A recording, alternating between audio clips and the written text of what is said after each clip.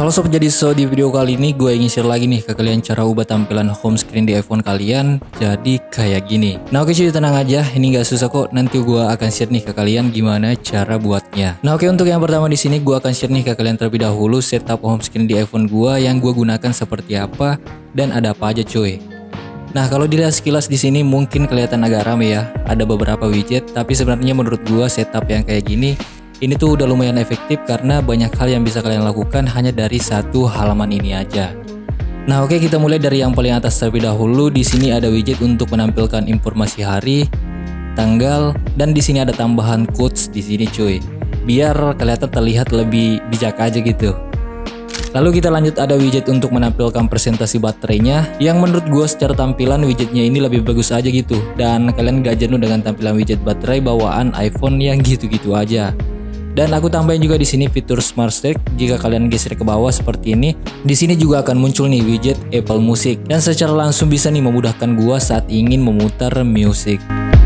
Dan di sebelahnya di sini ada beberapa aplikasi ya yang cukup sering gue gunakan seperti Instagram, Facebook, TikTok, WhatsApp, dan ini gue taruh di home screen supaya gampang buat buka aplikasinya. Ya, dan kenapa gue setup home screen iPhone gue seperti ini? Karena supaya gue bisa nih mengakses banyak aplikasi hanya satu dari halaman ini aja. Jadi nggak perlu swipe halaman demi halaman lagi buat cari satu aplikasi karena sudah banyak aplikasi yang sudah ada di halaman ini. Dan tentu aja nggak semua aplikasi bisa dimuat dalam satu halaman ini. Tapi paling nggak aplikasi yang sering gue gunakan bisa diakses dengan mudah di sini cuy.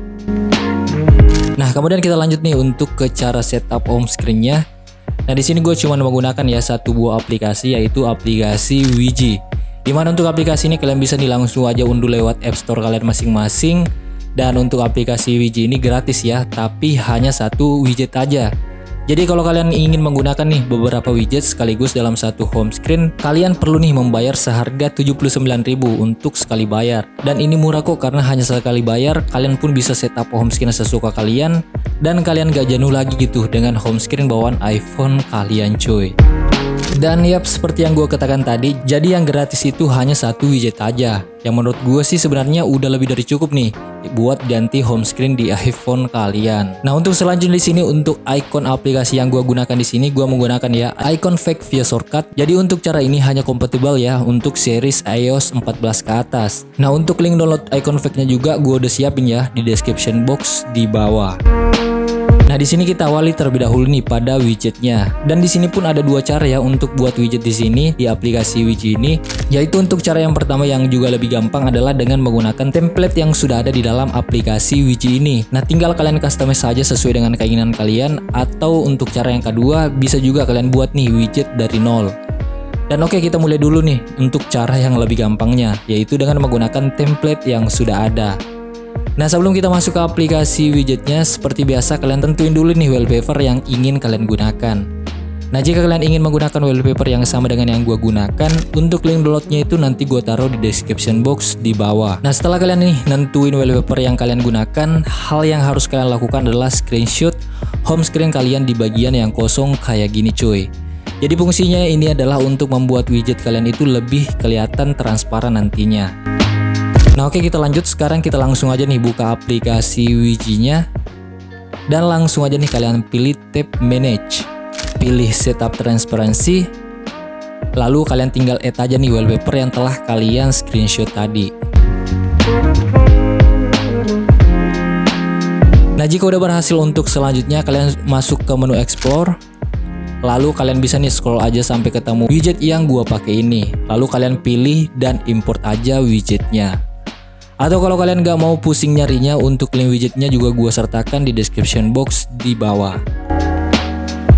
Nah setelah itu yang harus kalian lakukan adalah edit widgetnya. Nah untuk caranya pun di sini juga gampang ya. Jadi kalian tinggal masuk aja ke bagian tab manage, lalu kalian pilih widget yang kalian import tadi.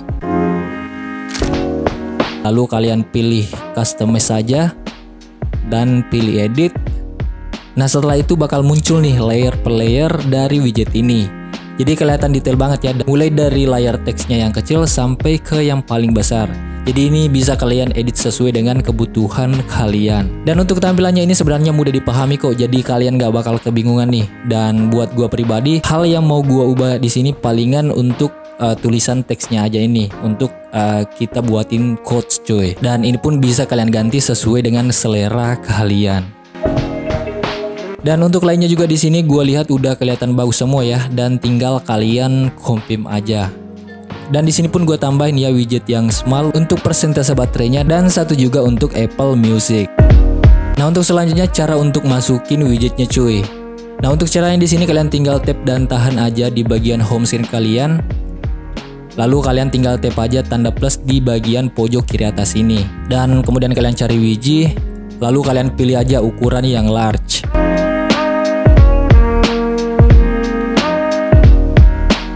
Nah nanti kalau misalkan udah, kalian tinggal tap aja bagian widgetnya dan pilih widget yang telah kalian edit tadi.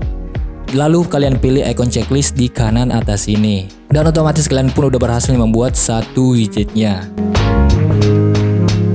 Dan tak lupa juga gue di sini masukin widget yang small yang udah gue import tadi untuk persentase baterainya dan widget Apple Musiknya. Agar kalian bisa nih scrolling ke bawah seperti yang gue lihatin tadi, jadi kalian bisa nih menggunakan fitur yang namanya fitur Smart Stack di iPhone kalian. Dan ini sangat simpel banget cuy untuk cara penggunaannya.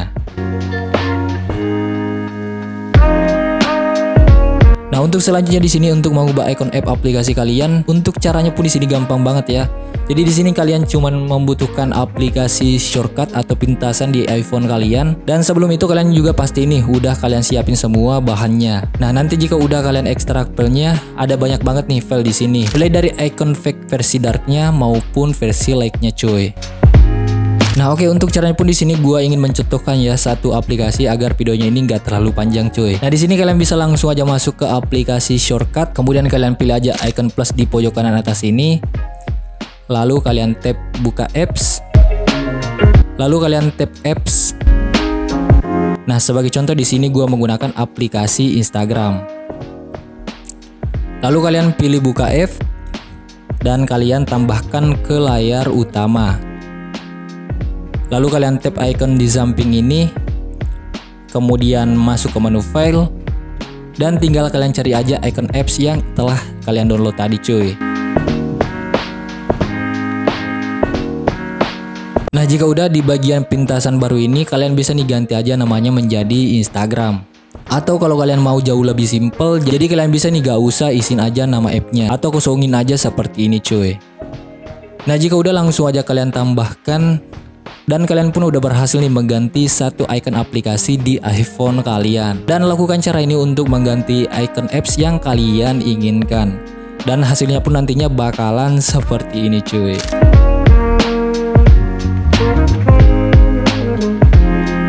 Dan yap, so itu dia cara customize setup home screen iPhone kalian supaya lebih fungsional, lebih menarik, sesuai dengan selera kalian. Nah, lebih banyak nih widget yang bisa kalian customize di aplikasi widget ini dibandingkan bawaan Apple cuy.